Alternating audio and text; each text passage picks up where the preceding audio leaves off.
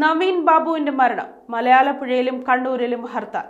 മൃതദേഹം ഇന്ന് പത്തനംതിട്ടയിലെത്തിക്കും. നമസ്കാരം കൊട്ടാരക്കര മീഡിയയിലേക്ക് സ്വാഗതം.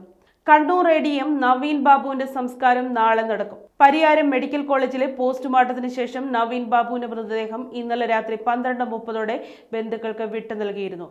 ഇന്ന് ഉച്ചയോടെ പത്തനംതിട്ടയിൽ എത്തിക്കുന്ന മൃതദേഹം മോർച്ചറിയിൽ സൂക്ഷിക്കും. നാളെ പത്തനംതിട്ട കളക്ടറേറ്റിൽ പൊതുദർശനത്തിന് ശേഷം വീട്ടുവളപ്പിൽ സംസ്കരിക്കും. നാട്ടിലേക്ക് ട്രാൻസ്ഫറായി മടങ്ങാനിരിക്കെയാണ് നവീനെ കണ്ണൂരെ താമസ സ്ഥലത്ത് മരിച്ച നിലയിൽ കണ്ടെത്തുന്നത്.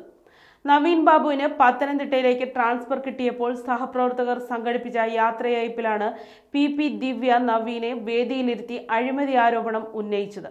ഇതിന് അടുത്ത ദിവസം നവീൻ ബാബുവിനെ വീട്ടിൽ മരിച്ച നിലയിൽ കണ്ടെത്തുകയായിരുന്നു. ഇതോടെ പി പി ദിവ്യക്കെതിരെ വൻ പ്രതിഷേധമാണ് ഉയർന്നത്.